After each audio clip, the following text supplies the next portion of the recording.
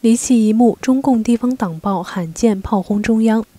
中国十四岁奥运冠军可怜身世曝光，揭开新农合惊人内幕。美国超一半人完全接种疫苗，拜登讽中共疫苗外交。金正恩健康问题频传，事实的真相全世界仅十五人知道。大家好，今天是美西时间八月六日，欢迎收看第三期《望维读报》，我是 Cherry。地方党报《深圳商报》八月五日深夜发表评论文章，矛头直指中央级媒体《经济参考报》用舆论影响股市走向，违背了监督初衷。虽然文章很快被删除，但一家地方官媒挑战央媒报道，引起了社会的广泛关注。由中共深圳市委主办的《深圳商报》刊发了一篇指向意味明显的文章。该报标题为“谨防媒体干扰股市”。文中称，近日股市出现了一种不正常现象：一些媒体对上市公司板块指名道姓，说三道四，导致相关板块和上市公司股价急转直下，甚至跌停，几乎形成了一种舆论绑架。《深圳商报》批评道：“舆论是市场的卫士和瞭望者，但舆论生态首先要健康和净化。舆论讲究。”客观真实，大量片面化报道集中呈现，随意加热和放大发布者想要的观点，失了分寸、界限和度。文中提到，受此影响的包括游戏行业、白酒行业、电子烟企业和增高针企业等等。此文一出，舆情顿时为之大哗。几天前，《经济参考报》在关于网络游戏的一篇报道中指出，未成年人网络沉迷现象普遍，网络游戏对未成年人的健康成长造成不可低估的影响。该报道直接。点名腾讯旗下的手游《王者荣耀》，并指将其称为“精神鸦片”电子毒品，称任何产业不能以毁掉一代人的方式来发展。不仅如此，外界发现《深圳商报》批评文章中所指的电子烟行业和增高针企业，新华社也均在近期刊发过相关报道。自由亚洲电台分析认为，文中所说的一些媒体显然指的是新华社、经济参考报等近期揭短某些行业的央媒。尽管这篇文章随后很快被删除，但其尖锐批评依然引发了不少网民的关注。有微博用户表示支持深圳商报，但有人担心这家媒体可能会有麻烦。总部设在北京的亲共媒体多维新闻表示，深圳商报是改革前沿城市的重要党报，经济参考报是国家通讯社新华社的主管报刊，两者间的公。公开指责虽不能说绝无仅有，但仍是极为罕见的。旅美经济学者、股票投资管理人郑旭光认为，这篇文章是在为中国股市鸣不平，但发文动机很难判断。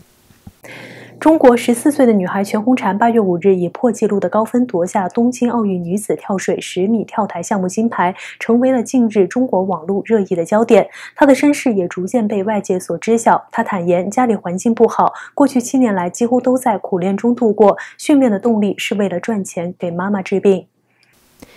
综合路媒报道，全红婵五日夺金后出席新闻发布会，面对记者提问，跳水能拿满分的秘诀是什么？这名十四岁的小女孩挤不出四平八稳的发言，仅尴尬笑地说：“练的，自己慢慢去练呗。”全红婵随后说：“我妈妈生病了，可是我不知道那个字怎么读，不知道她得的是什么病，然后就很想赚钱回去给她治病。”得赚很多钱，然后治好他。小女孩说着说着就哽咽了。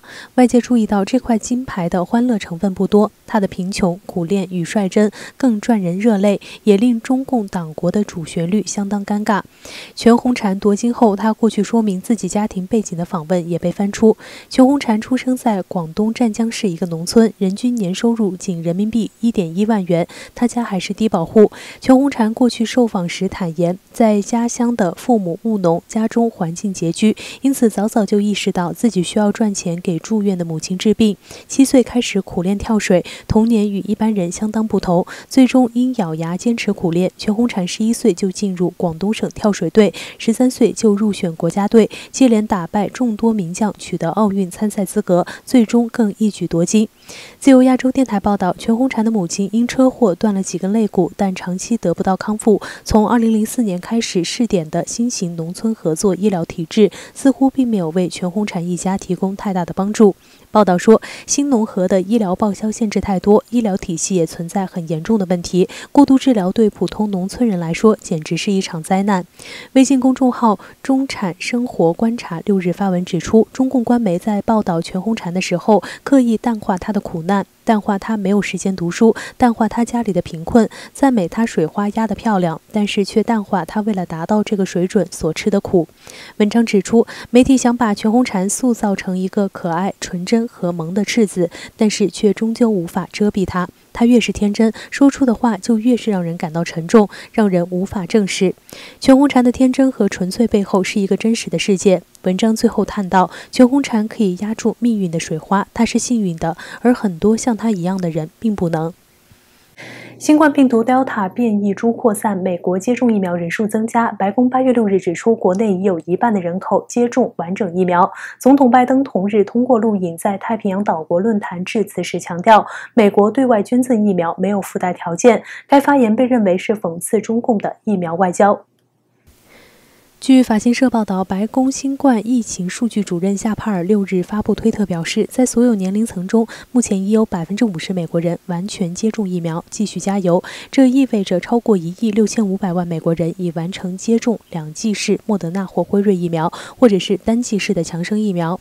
据此前报道，早在今年五月底，已有半数成年人完成完整疫苗注射。美国总统乔拜登六日透过录影在太平洋岛国论坛致辞时表示，美国从本月开始向世界卫生组织牵头的全球疫苗分享机制。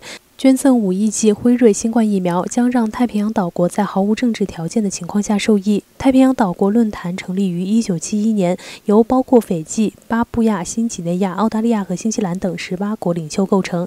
这是美国总统有史以来第一次在论坛上致辞。